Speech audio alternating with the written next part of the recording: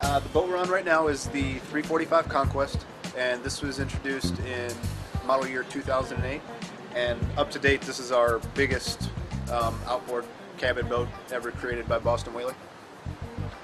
Boston Whalers have traditionally been, you know, renowned for their uh, their unique construction process, the Unibond construction process, in which we take a full hull and a full fiberglass interliner and essentially fill the entire cavity with uh, buoyant foam. So like I mentioned before, the uh, 345 Conquest is our largest outboard powered cabin boat that uh, Boston Whalers ever made. And uh, you know, you're gonna find every fishing amenity or um, you know, cabin sleeping amenity that you'll find on, on bigger boats as well. And you know, starting with the starting with the cockpit, we have a, uh, a full bench seat in the back that can seat um, three people or maybe even four smaller people. Um, you have rod holder storage, you have rod storage, you have downrigger weight storage, you have two um, giant fish boxes, you have a uh, big generator hatch uh, or mechanical bilge hatch, whatever you can call it, uh, where you huge access space to uh, get to all your mechanicals, your generator service, and all your pumps and fittings. All right, so starting with the helm chair, we have a uh, you know, fully adjustable up and down, you know, forward and aft uh, captain's chair with a uh, flip-up bolster.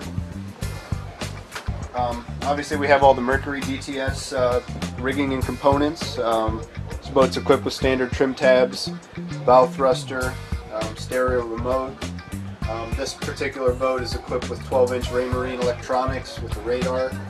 The cockpit is equipped with air conditioning, with two vents here and two up at the top.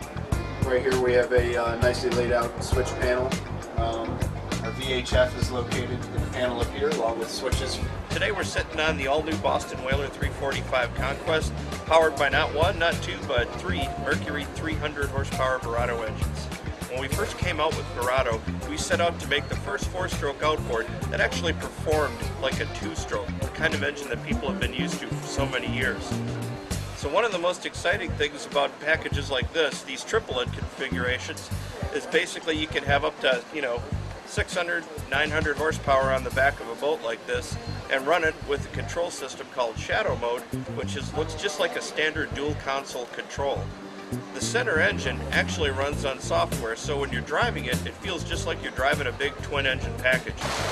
One of the things we're proudest of is, is how quiet Verados are. Kind of a very sophisticated sound. They're whisper quiet, and right back here now, there's three engines running at idle speed, and they're virtually silent. In fact, what you hear is the water just kind of swirling around the engines in the back here, and uh, that's about it. And what's most exciting is that you got 900 horses of pure fire back here once you put the sticks down, ready to make this boat get up and perform.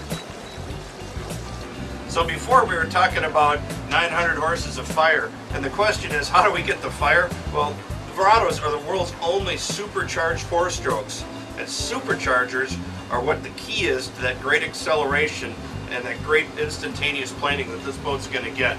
So let's see here what Bobby does when the sticks go down and this thing comes up and goes. Okay, let's hit it.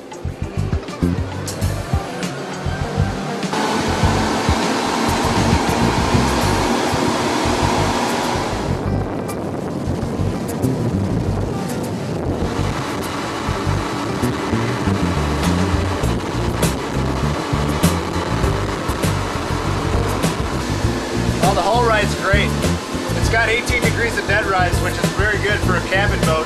Helps keep the boat stable, but it's got enough dead rise to go into heavy seas and uh, keep the boat dry and, and uh, have a nice soft ride.